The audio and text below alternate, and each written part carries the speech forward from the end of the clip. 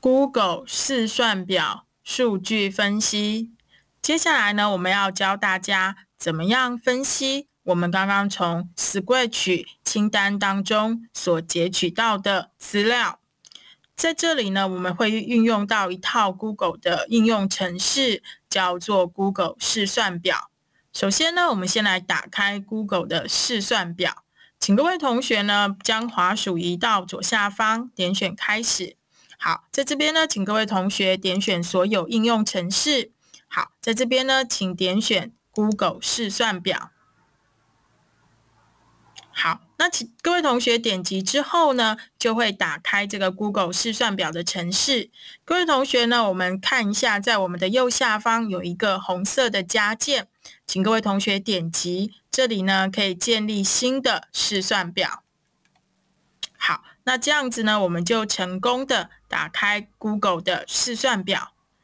接下来呢，我们要将呃刚刚的这个呃下载的这个资料呢，来汇入这个 Google 的试算表。所以，请各位同学呢，一样的哈，我们到这个左下方点选，点选所有应用程式，点击这个档案。好，这时候呢，会打开我们的管案呃档案的这个管理员。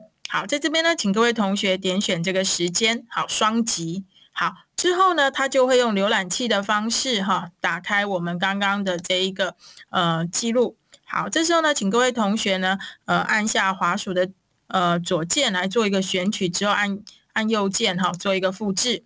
好，那在这边的话，各位同学，我们就在这个资料上，呃，输入这个格列的名称，哈。好，那我们这时候按右键，好，做一个贴上。好，那我们就成功的将刚刚的资料汇入。好，接下来我们要做的是反应时间的部分。好，反应时间呢是要算这呃就是前后的一个时间差。好，那在这边呢，我们可以做一个简单的呃公式了哈。所以就是等于好，所以在这边的话就是等于 A 三的时间，好，就是 A 三是这一格的时间减掉好 A 二的时间，好。按下 Enter 键，好，在这边的话，各位同学就可以看到这个公式哈，就是代表这两个之间哈，它花了零点四七六秒，好，来按下下一个键，好，这时候呢，我们可以用一个复制的方式，好，复制的方式去做复制，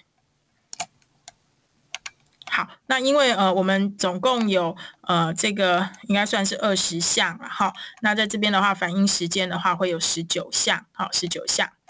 好，那接下来呢？我们这在这里呢，我们已经将这个反应时间的部分，呃，已经算出来了。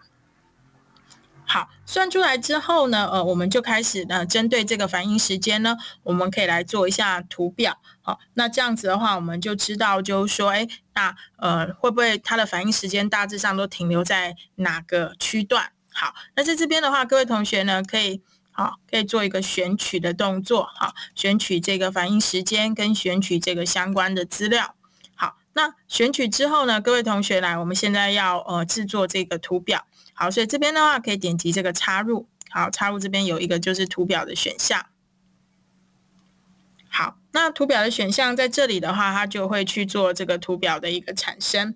好。那各位同学可以看哈，那这个图表基本上就帮这个反应时间哈，每个反应时间做一个简单的分析。那我们大家可以看到，它自大大约是在零点好三四秒到零点五秒之间的一个区块哈，所以各位同学可以看到，其实这个按钮还是按的相当快。好，那我们点选插入。好，那我们可以把它移到一个我们觉得适当的一个位置。好，那在这边的话呢，我们就将刚刚的资料哈，然后把它制作成图表，做了一个简单的一个分析。